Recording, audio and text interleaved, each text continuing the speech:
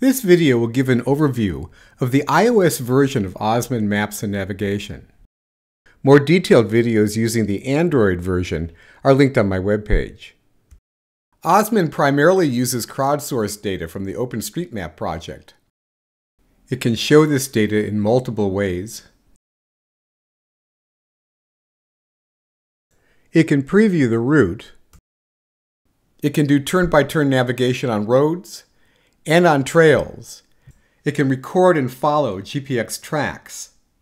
And it can give you information about the things around you, all without a cellular connection, because the maps and related data all reside on your phone.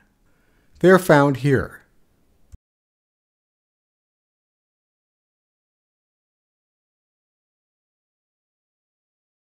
For this demonstration, I've downloaded all layers related to California, the map, contour lines, Wikipedia, hill shading, and slope. And I've enabled these plugins. Okay, on this map, I'm here. To create a simple hiking route, I just press on a destination. Notice there are four navigation modes. I've selected walking. And there are many other options that can tweak how OsmAnd navigates.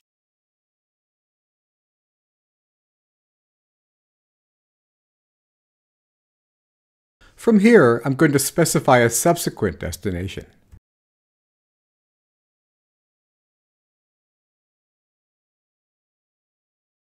which turns the original destination into an intermediate one.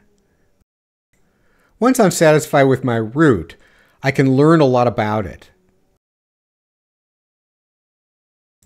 Here, for example, is the distance, as well as a rough estimate, sometimes very rough, of the time needed to walk, bicycle, or drive it. There are directions. There's an altitude profile in blue and a steepness profile in green. Pressing details, I can see the total ascent and descent, as well as the average altitude and altitude range. Using data from OpenStreetMap, there's information about the road type, its surface, and there's an analysis of the steepness. The Analyze button shows the relationship of the altitude profile to the route.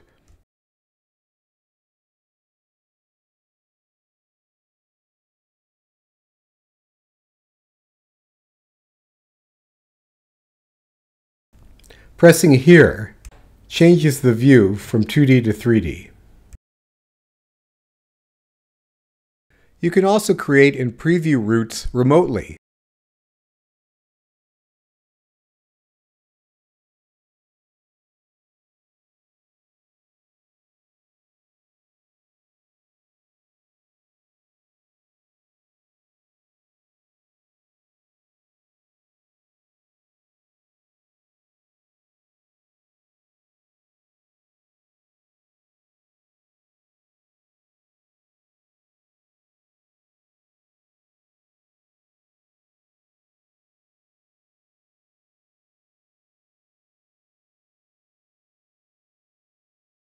Here's what OsmAnd looks like on the road.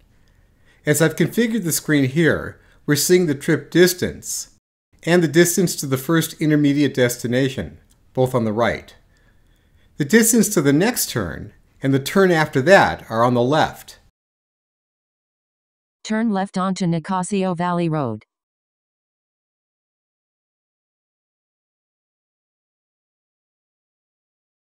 OsmAnd can also do turn-by-turn -turn navigation on hiking trails.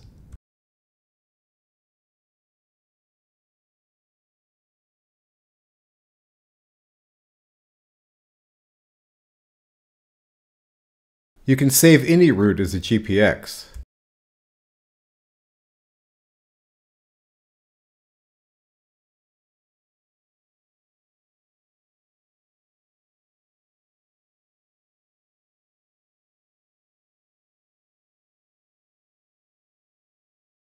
You can find them here.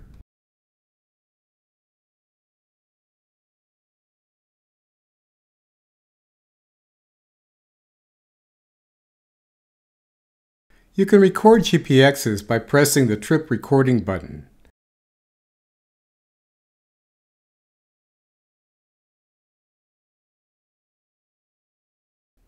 Pressing it again allows you to stop recording and save it.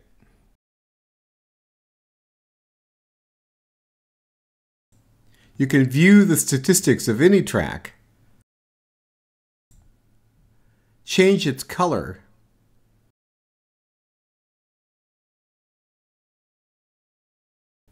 displayed on the map,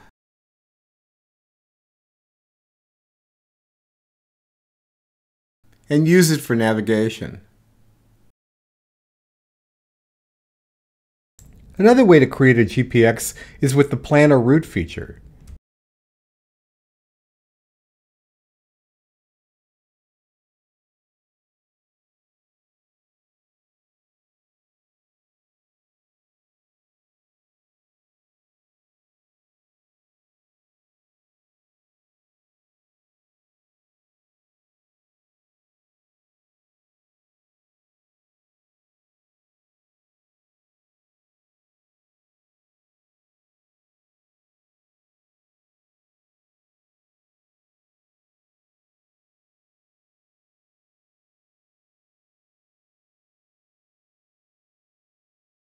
You can customize the look of the map from here.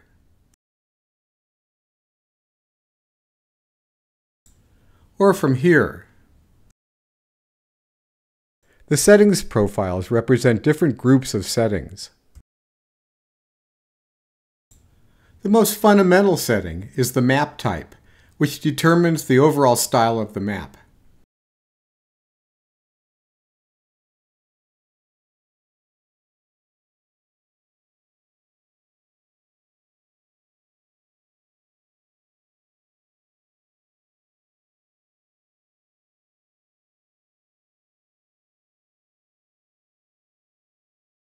There are multiple styles for contour lines as well.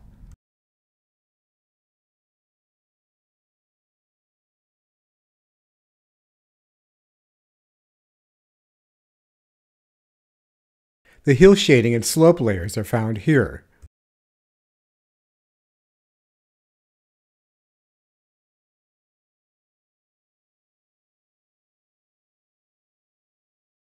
The screen panels are controlled here.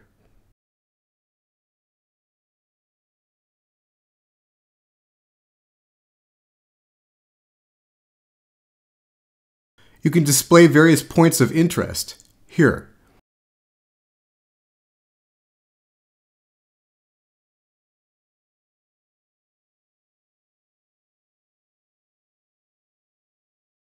For traveling, there's a Wikipedia layer.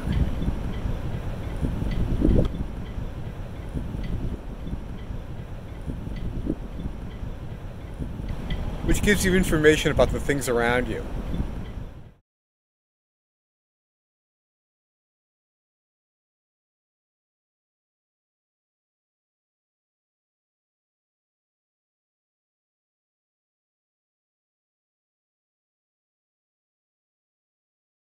OsmAnd also has a couple of ways to mark personal points of interest.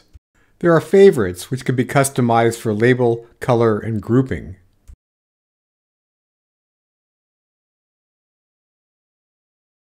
They're found here. And there are map markers, which are less customizable but faster to create.